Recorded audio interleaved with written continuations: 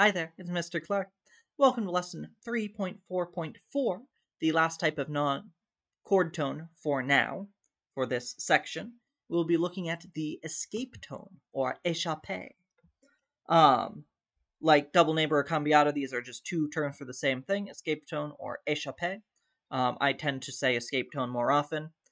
It's the opposite of an appoggiatura. It's also an incomplete neighbor, but it's a step and then a leap. So it begins on a chord tone, it steps to a non-chord tone, and then leaps in the opposite direction. And again, that could go the other way, where you step down to a non-chord tone, and then leap up to a chord tone as a resolution. When you're writing or identifying an escape tone, you must start on a chord tone, step to a non-chord tone, leap to a chord tone in the opposite direction. So looking at our first example, here's our chord. Three, four, five.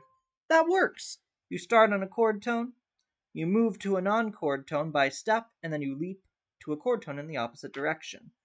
Here's one in the reverse direction, where you step down to three and leap up to six.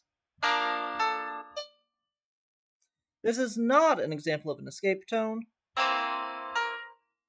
because those are all chord tones. Sorry. This is not an example of an escape tone. Stop that. Um, because it's moving in the same direction. Has to be step and then leap in the opposite direction. And then last but not least,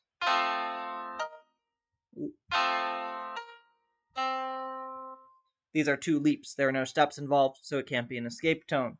Escape tone is abbreviated by ET, like the extraterrestrial.